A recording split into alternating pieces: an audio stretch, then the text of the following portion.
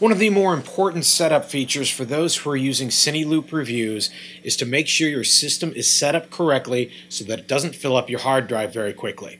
This is a very quick step that you should do before you get rolling if you're going to be doing cardiac or saving a lot of CineLoops. First, press the utility button. On the Vivity, it will be called the config.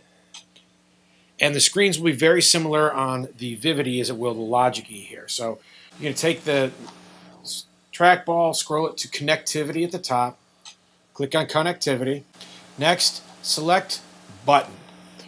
Now, most systems come with it set at raw DICOM and no compression.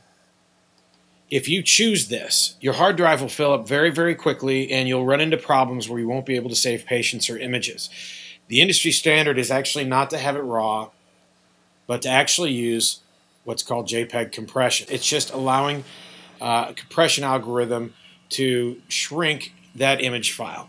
So you can choose DICOM, choose your image frames as multiple. Your compression should be JPEG, and even if you did the quality at 100%, the quality will not be discernible to your eye from 100%, and some will even say 90% that you won't even be able to tell the difference.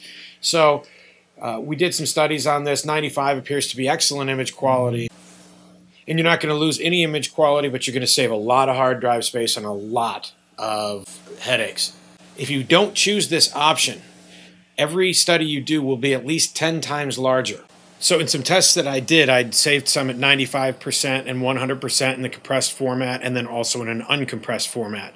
This was a 20 second cine loop that I did. The At 95%, that file was 17 megabytes. At 100% compression here, that file was 34 megabytes. And when I did it uncompressed, that file was 205 megabytes. So you can imagine why your hard drive would fill up very quickly if you have no compression. There's no visible difference between 95